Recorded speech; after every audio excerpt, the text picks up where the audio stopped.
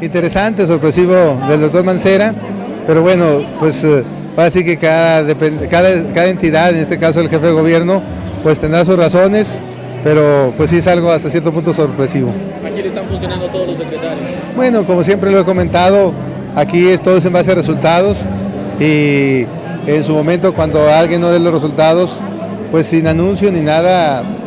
como siempre se han hecho los cambios en función de los requerimientos, las necesidades y los resultados, por el momento no hay alguna opción de un cambio a corto plazo.